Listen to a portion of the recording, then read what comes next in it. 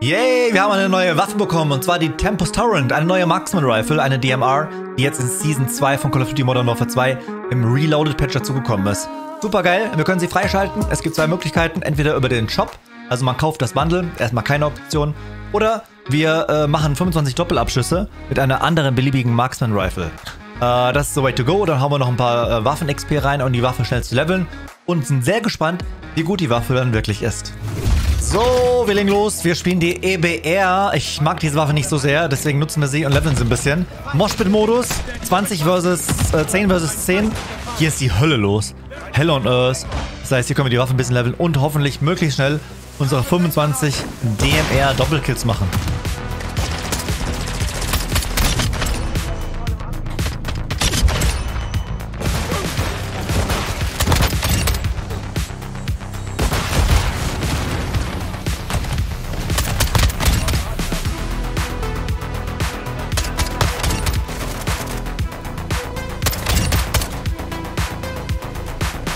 Okay, jetzt gehen schneller als gedacht. Wir haben die EBR schon auf Gold. Also wechseln wir schnell auf die SPR und machen damit weiter. Auf in die Hölle von Moshpit!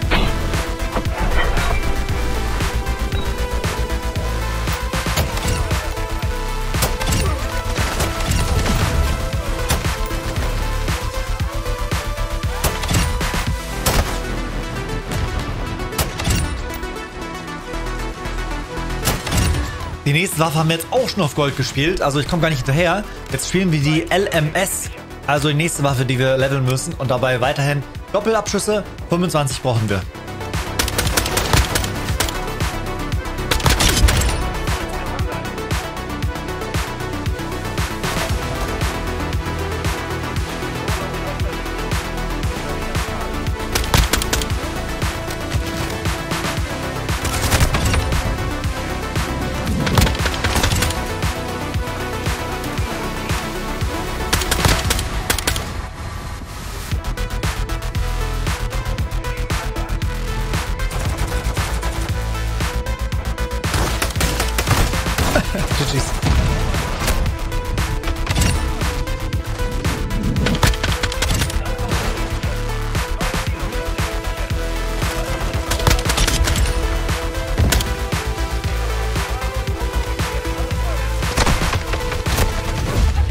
Und hier ist das gute Stück. Wir haben sie freigeschaltet. Äh, die Tempus Torrent, die neue Skin drauf gemacht. Die Event-Skin haben wir direkt mit freigeschaltet.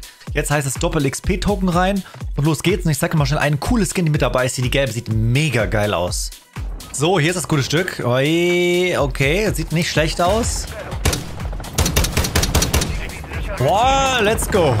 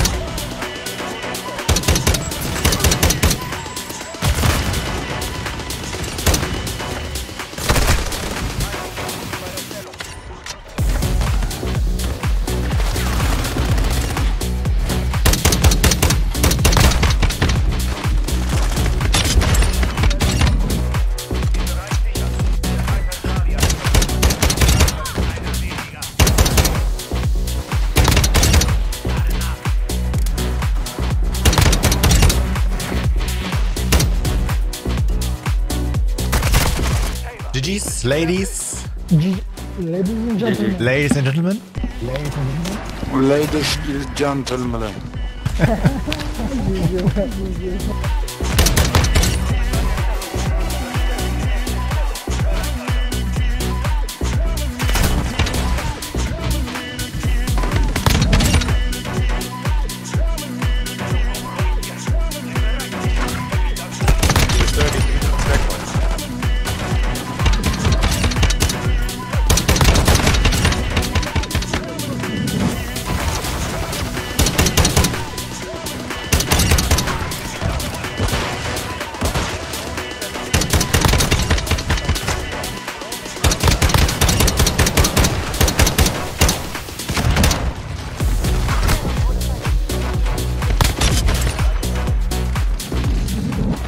So, schauen wir uns das Ganze jetzt in der, im Detail an. Das gute Stück. Und zwar haben sich natürlich schon sehr, sehr viele Pro-Gamer, E-Sportler und so weiter Gedanken gemacht, wie man die Waffe am besten baut. Und das hier ist das Ergebnis.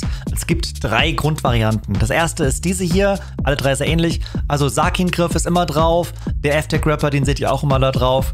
Und den FS-Ole-Laser seht ihr auch immer drauf. Das Zielhilfenvisier ist klar, das ist Ermessenssache, passt sehr gut zu jeder DMR. Wird sehr, sehr gerne gespielt auf dieser Waffe. Und jetzt kommt's. Äh, hier haben wir den 24 Zoll Outreach 4 Vorderlauf. Der macht mehr Schaden, hat eine höhere Reichweite, ist ein sehr starker Lauf. Allerdings äh, gibt es auch die Variante ohne Lauf und dafür mit einer Mündung. Und zwar wird hier das Dark äh, Kronen Dark KX30 benutzt. Ich habe hier eine Skin für. Oh, okay. Also das Kronen äh, Dark KX30 verbessert nochmal die Rückschusskontrolle, macht eine erhöhte Präzision und lässt die Waffe nochmal ein bisschen äh, besser handhaben, also ein bisschen leichter, schneller ins ADS reingehen. Äh, das ist auch eine sehr beliebte Variante, also ein bisschen schneller, weniger Damage. Und Variante Nummer 3 geht noch weiter äh, in dieses Extrem. Und zwar haben wir dann hier den 12,5 äh, Zoll äh, Lauf. Auch der erhöht die Reichweite nochmal äh, die Handhabung nochmal. Dafür kriegt das Kronendark äh, die Mündung raus. Also 12,5 Zoll. Das sehe ich aber wirklich am wenigsten. Und ich würde auch sagen, wenn man das Ganze schnell spielen will oder schneller spielen will, dann sollte man äh, das Dark KX30 nehmen. Und ansonsten sozusagen als Standard, um die Wucht zu haben, die Waffe ein bisschen langsamer, aber dafür besser, stärker zu spielen, äh, der 24 Zoll Lauf. So sieht das Ganze dann aus. Ist eine sehr tolle Waffe. Wir gucken uns jetzt mal im Schießstand an. So sieht das Ganze jetzt auf dem Schießstand aus und man sieht, wie schnell das jetzt sogar mit dem Lauf, das ist jetzt die Laufvariante, wie schnell das Ganze in ADS geht. Das ist wirklich nice, also wirklich schnell. Und ihr könnt euch vorstellen, das Ganze geht noch viel, viel schneller, wenn man den Lauf rausnimmt und dafür das äh, Dark äh, die Dark-Mündung mit reinnimmt, dann ist das Ganze nochmal schneller. Das ist natürlich ein Kompromiss, den jeder für sich selber finden muss. Für uns jetzt natürlich interessant, was ist in DMZ los? Wie bauen wir diese Waffe für DMZ? Wir werden es übrigens am Wochenende im Stream natürlich intensiv spielen, diese Waffe. Und zwar hauen wir natürlich erstmal das große Magazin rein für DMZ, das ist klar, 50 Schusstrommel, mehr Ersatzmunition. Jetzt fliegen zwei Dinge raus. Das eine ist der äh, Laser, den brauchen wir nicht im DMZ-Modus. Und das zweite ist der Lauf. Und zwar haben wir hier einen Kombinationslauf. Ziemlich geil. Äh, Lauf mit eingebautem Schalldämpfer und es erhöht die Reichweite. Also perfekt für DMZ. Wir sparen einen Slot, kriegen einen Schalldämpfer und eine erhöhte Reichweite und mehr Schaden. Und das Ganze sieht dann so aus. Und im Schießstand sieht man schon, wie langsam jetzt die Waffe in ADS geht. Oh mein Gott, da schläft man hier ein. Aber wir sind es gewohnt. In DMZ ist nun mal alles ein bisschen langsamer. Aber dafür haben wir eben 50 Schuss. Ich kann hier wirklich durchdrücken. Und ihr seht doch, selbst in diesem, in diesem Zustand ist der Recoil wirklich, wirklich angenehm. Und ja, ich kann ballern bis zum St. Nimmerleins-Tag. Also schöne Munitionsreserven, wirklich tolles Teil. Und übrigens, die Animation ist auch sehr, sehr cool wie er da die Waffe nochmal auf den Handrücken legt, ist schon nice. Geil. So, dann gucken wir mal in die DMZ. Also unsere DMZ-Variante. Hi, hi, hello, hello, hello. So, dann wollen wir uns erst Opfer uns anschauen. Oh, das ist schön leise und sie ist präzise und richtig toll. Ah, wer sagt, hier braucht man Hochgeschwindigkeitsmunition? Braucht man nicht.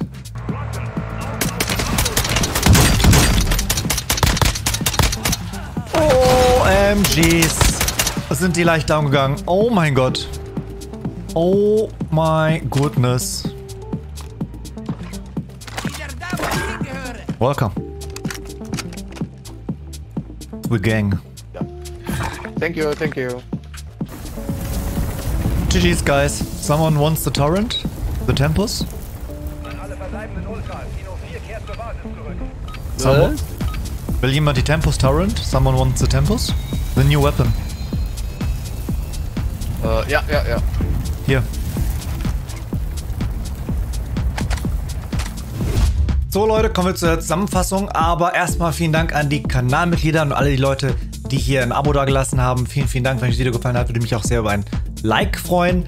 Danke an dieser Stelle dafür. Die Zusammenfassung. Also, die Waffe macht einen One-Shot auf den Kopf, einen Two-Shot auf den Body und ist im Grunde genommen eine gute Erweiterung für unsere Waffensysteme, aber sie ist wirklich nicht die beste, wird sicherlich keine Meta-Waffe werden. Im DMR-Bereich ist sie aber eine der besseren und wenn man genau ist mit seinem Aim und gut zielen kann, dann ist die Tempus Tower und das Tempus-Geschütz eine wirklich sogar sehr gute Waffe. Also es ist wirklich abhängig von eurem Aim, ähm, was mich so ein bisschen daran erinnert, wenn man vielleicht nicht das beste Aim hat, dass man sein Aim vielleicht mit so einer Waffe trainieren kann, dann wirklich auch belohnt wird, wenn man sieht, wie man Stück für Stück besser wird mit so einer DMR. Also, sehr, sehr schöne Waffe, toller Sound. Sagt mir selber eure Meinung. Ich bin auch gespannt, wie sich das Ganze metamäßig noch entwickeln wird. Ich sage an dieser Stelle viel Spaß, auf Wiedersehen, reingehauen und reingeschaut. Ciao, ciao, ciao, ciao.